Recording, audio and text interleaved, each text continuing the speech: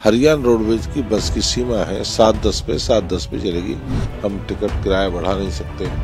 आज भी पंजाब से हमारा कम है, राजस्थान से आज भी हमारा कम है, यूपी से आज भी कम है। और कुछ लोग टैक्सियों में बैठ जाते हैं, नहीं बैठना चाहिए, सेफ़ नहीं है, ड्राइव सेफ़ नहीं है। हरियाणा के परिवहन मंत्री मूलचंद शर्मा जी हमारे साथ हैं, बात करते हैं हरियाणा रोडवेज़ की, जिस तरह से रोडवेज़ में बसों का जखीरा बढ़ाया जा रहा है और जो भी काम किए जा रहे हैं, लेकिन अभी भी रोडवेज़ घाटे में चल रही है हरियाणा इसको लेकर क्या योजना है? शर्मा जी, नए साल की शुभकामना और बताएँ जो आपसे मैंने सवाल किया आपको नववर्ष की सबको आपके चैनल के माध्यम से बधाई। और हरियाणा रोडवेज़ जब से हरियाणा बना है, और हरियाणा बनने के बाद सबसे ज़्यादा जितनी बसें हरियाणा रोडवेज़ के बेड़े में शामिल हुई हैं चाहे वोल्वो हो, चाहे इलेक्ट्रिकल बस हो, या दूसरी एसी बस हो, हर तरह की बस हमने हरियाणा रोडवेज़ के बेड़े में शामिल करी है। और हरियाणा रोडवेज़ कभी प्रॉफिट का कभी साधन नहीं रहा।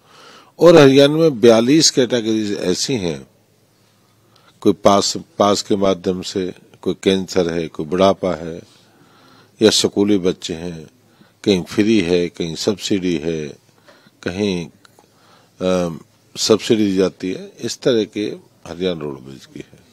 और रोडवेज़ कभी क्या है कि इससे नहीं क्या, भर के चलेगी तभी चलेगी। हरियाणा रोडवेज़ की बस की सीमा है सात दस पे, सात दस पे चलेगी। इंजार नहीं करेगी भाई, इंजार अभी सवारी कम है, मुझे पूरी भर के, उसका ये कि लोगों को समय पे पहुंचाना, लोग समय पे पहुँच सकें। इससे हरियाणा रोडवेज़ का जो प्रयास है, उस प्रयास को रोकने के लिए भी ज़्यादा से ज़्यादा लोगों को सुविधा मिले। और जो जो लोगों जो बस की सर्विस है, उस समय पे लोग पहुँचे। और जो भी है कि बसों के जितने भी ज़्यादा ज़्यादा है, हम टिकट किराया बढ़ा नहीं सकते। आज भी पंजाब से हमारा कम है, राजस्थान से आज भी हमारा कम है, यूपी से आज भी कम है। तो यही है कि भाई, जिस तरह से तेल, डीजल के रेट बढ़े, जिस तरह डीजल उस पर रहा, तब भी हमने रेट नहीं बढ़ाया सौ पार कर चुका था। तो ये कि ज़्यादा से ज़्यादा अपने बसों को सर्विस देंगे, ज़्यादा से ज़्यादा कोई इस तरह की बसें उन खिलाफ कार्रवाई करेंगे। जैसे डीजल बसें चल रही है तो पोल्यूशन कंट्रोल हो और जो डीजल की ये है खप, खपत रुके उससे बचत हो तो जो आज इलेक्ट्रिक बसें आ रही हैं उनको इस जो परिवहन विभाग के बेड़े में कब तक शामिल करके पूरा डीजल फ्री आप अपना बेड़ा करेंगे? नहीं पूरा मैंने डीजल फ्री की कभी बात नहीं की डीजल फ्री की कभी ना हुई ना भी होने वाली। और इलेक्ट्रिकल हम तीन सौ पचहत्तर बस इलेक्ट्रिकल हरियाणा रोडवेज़ के बेड़े में शामिल कर रहे हैं और 28 जनवरी से उनकी उनतीस जनवरी से हम शुरुआत करेंगे। मुख्यमंत्री जी शुरुआत करेंगे कि इलेक्ट्रिकल बसों की। दस जिलों में उसकी शुरुआत होगी, दस जिलों में बस चलेंगे। और क्या है कि धीरे धीरे जैसे समय रहेगा जो पॉल्यूशन है, एनसीआर का इलाका उसको फ्री करेंगे और इलेक्ट्रिक बस को बढ़ावा देने का प्रयास करेंगे। मंत्री, जो हरियाणा रोडवेज़ की वॉल्वो बसें हैं, वो दिल्ली जाती हैं।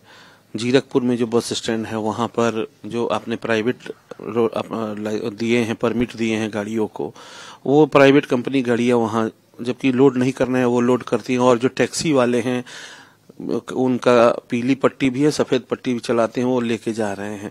तो इस पर रोक कैसे? क्योंकि आपकी बसों में तो जो वोल्वो में सवारियाँ ही नहीं होती और वोल्वो लगातार घाटे में चल रही है इसके कारण। जीरकपुर पंजाब का पंजाब में आता है। और बस स्टैंड भी है। और मेरा मानना है कि वॉल्वो बस की अपने हरियाणा रोड में वॉल्वो का अपना प्रभाव है लोग उसको पसंद करते हैं। और कुछ लोग टैक्सियों में बैठ जाते हैं नहीं बैठना चाहिए सेफ़ नहीं है ड्राइव सेफ़ नहीं है कि एक्सीडेंट हो जाए उससे बचना चाहिए। वॉल्वो एक सेफ़ है उसकी लोग भरोसा विश्वास है। और फिर भी जो आपने जानकारी मुझे पहले भी दी थी आपने टेलीफोन माध्यम इस तरह की जो भी है मैं भी आ, करेंगे भी जो भी इस जीरकपुर में है ज़्यादा से ज़्यादा इस तरह की जो टैक्सी खड़ी होती है, स्टैंड पे लगती है, उनके खिलाफ कार्रवाई करेंगे। और जो जो लोग हैं आरटीए के थ्रू भी, और वैसे भी, हम हरियाणा रोड के थ्रू ऐसे लोगों के खिलाफ कार्रवाई करेंगे अच्छा आखिरी सवाल है आपसे।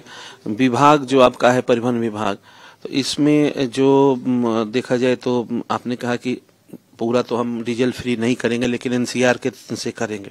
तो ज़्यादा से ज़्यादा आज जो कमाई देखा जाए विज्ञापन के माध्यम से किया जा रहा है या और भी कई साधन है जैसे खाने पीने का अगर कंपनियों से ये समझौता हो कि यहाँ पर ये डिलीवरी दे उससे आप ये पर, जो परिवहन को अगर कहा जाए रेवेन्यू जनरेट करने का इसके बारे में कुछ आपने विचार किया नहीं लगा हुआ पहले से ऑलरेडी है जो गुड़गांव फरीदाबाद झज्जर सोनीपत बस स्टैंड को विज्ञापन के हिसाब से देते हैं।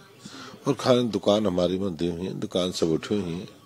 और उनके समय समय पे हम करते रहते हैं जो दुकान है। बसों में भी ज्ञापन जो बस में वो चले डिस्प्ले चले और जो खाने पीने का जैसे जोमेटो इनसे वो कांटेक्ट हो तो उससे भी आपको फ़ायदा हो रेवेन्यू नया जनरेट हो इसके बारे में कोई विचार करें? उससे अभी आपने बाकी इस तरह की कोई होगी होगी इस पर हम काम करेंगे इससे कोई सवारी को भी लाभ मिले हमें प्रॉफिट की बात नहीं सवारी को परेशान नहीं होनी चाहिए में जो सवारी है उसको पीड़ा नहीं होनी चाहिए। सवारी को अच्छा खाना मिलेगा। नहीं सवारी को बढ़िया में लगेगा तभी उसको काम करेंगे उसे देखेंगे उसका क्या आता है उनका। इस जानकारी से रिज़ल्ट क्या जानकारी मिलती है इससे जो है सवारी के साथ साथ अवश्य विचार करेंगे। धन्यवाद धन्यवाद। तो ये थे हमारे साथ मूलचंद शर्मा जी इनका कहना है कि हरियाणा रोडवेज़ के यात्रियों को ज़्यादा से ज़्यादा सुविधाएँ मिले और उस पर विचार कर रहे हैं और जो भी आ, अगर चाहे टैक्सी चालक या जो परमिट नए दिए गए हैं वो गलत काम कर रहे हैं तो उन पे परिवहन विभाग उस पर देख के सख्त कार्रवाई करेगा और रोडवेज़ को घाटे से उबार कर एक फ़ायदे वाला सौदा हरियाणा के लिए बनाने का प्रयास मूलचंद शर्मा जी और परिवहन विभाग द्वारा जारी रहेगा। चंडीगढ़ से कैमरामैन स्वास्थ्य के साथ ओम प्रकाश राय भारत एक्सप्रेस।